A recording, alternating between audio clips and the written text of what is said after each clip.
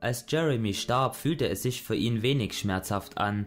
Er rannte hastig über eine Straße, als ihn ein Bus seitlich erfasste und ohne weiteres über dessen Kopf fuhr. Jeremy hörte die wilden Schreie der Passanten nicht. Genauso wenig vernahm er die Schmerzen, welche aus den offenen Brüchen und den verdrehten Extremitäten heraus entstanden. Und auch die Rettungsversuche der Notärzte blieben ihm fern. Jeremy war einfach tot.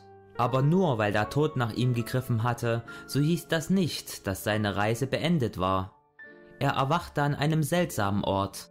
Gleißendes Licht umgab ihn und alles fühlte sich herzlich, warm und vertraut an. Da lag er nun, gerade so, als wäre er lediglich ausgerutscht und am Boden zu Fall gekommen. Jeremy lag da und starrte ins Nichts, als sich plötzlich eine menschliche Gestalt über ihn beugte. Es war ein hochgewachsener Mann mit goldenem Haar. Jeremy blickte ihm ins Gesicht und musste sich sogleich eingestehen, dass das mit Abstand der attraktivste Mann war, den er in seinem Leben jemals gesehen hatte. Gegen ihn wirkten die Models aus den Zeitschriften wie zerzauste Obdachlose. Der Mann öffnete seinen Mund und eine sanfte, wohlklingende Stimme sagte, Jeremy, wo warst du denn so lang? Wir haben schon auf dich gewartet. Der Mann reichte ihm die Hand und half ihm auf. Nun, da Jeremy stand, konnte er sich ein komplettes Bild von jener merkwürdigen Person machen.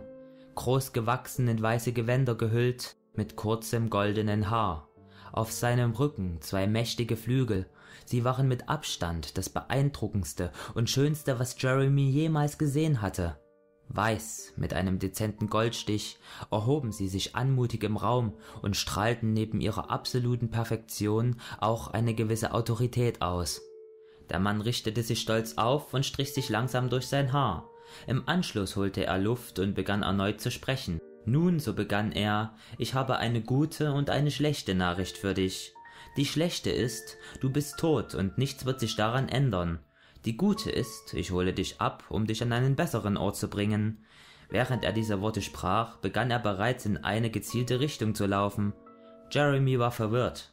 Immerhin war es um ihn herum einzig strahlend weiß und die Tatsache, dass er tot sein sollte, machte für ihn ebenso wenig Sinn wie die Flügel auf dem Rücken des Mannes.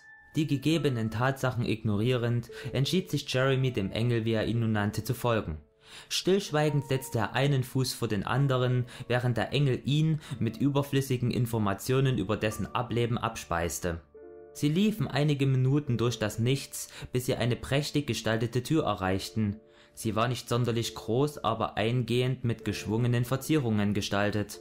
So, da sind wir auch schon, stieß der Engel heraus, als er seine Hand auf die goldene Türklinke legte. Nicht so schüchtern, scherzte der Engel und zog Jeremy näher an die Tür. Alles wird bestens, das verspreche ich dir, fuhr er fort. Jeremy, der nun langsam verarbeitete, was genau um ihn herum geschah, hielt inne und richtete seinen Blick auf den Engel. Langsam öffnete er seinen Mund und fragte, wie ist dein Name? Der Engel grinste und die Hand, welche noch immer auf Jeremys Schulter lag, verkrampfte sich. Ist das nicht offensichtlich? Wer ist schon so dumm und lässt sich bei einem Bankraub überfahren? Mein Name ist Lucifer und das ist deine Tür. Mit diesen Worten stieß Lucifer die Tür auf und riss Jeremy hindurch. Nichts war nun mehr von der edelweißen Schönheit zu erkennen. Tausende Schreie, brodelnde Becken und nicht zuletzt unglaubliche Hitze schlugen ihm entgegen.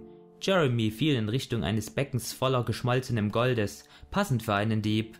Doch den ganzen Fall in die Tiefe ging ihm nur noch eine Sache durch den Kopf. Es stimmte. Lucifer war wirklich der schönste Engel von allen.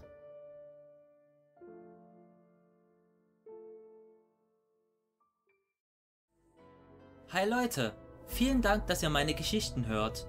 Wenn ihr mit mir in Verbindung bleiben wollt, lasst doch ein Abo da.